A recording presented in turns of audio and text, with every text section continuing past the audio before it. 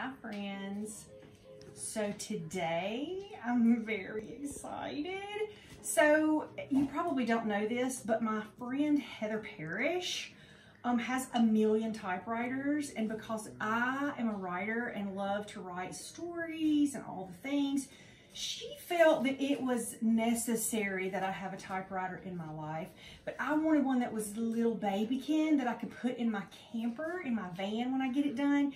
So she found this one on Instagram at Jot and Tittle. There you go. Heather is behind the camera and I'm going to show you her typewriters um, at the end of the video. But, so it came in the mail.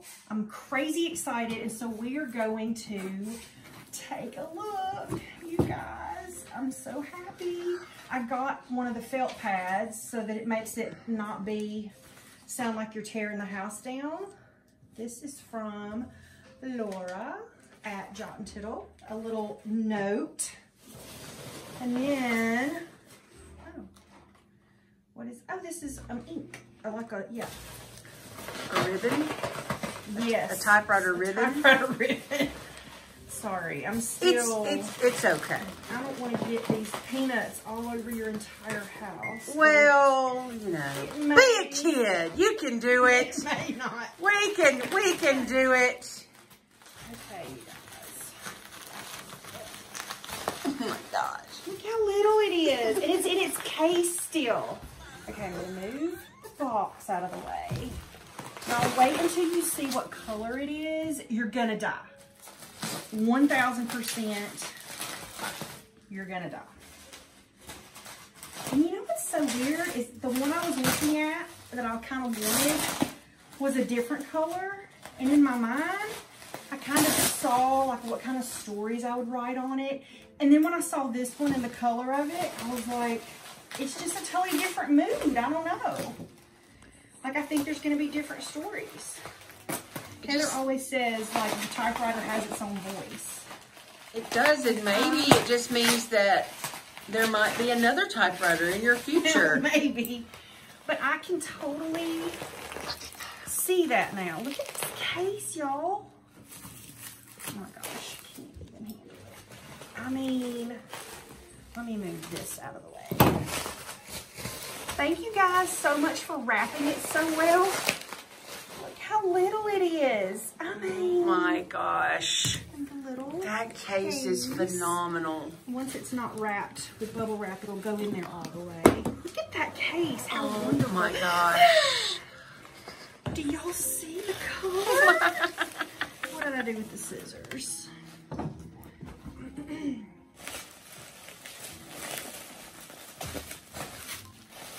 I mean, Can you even handle that? does not make you happy. Ah. I don't even know what to say. Get all this wrapping off. I mean, look at it. How cute is that? Oh my gosh. Okay, we're gonna have to get some paper and type some little notes. All right, you guys. Let's type on it and see how it looks.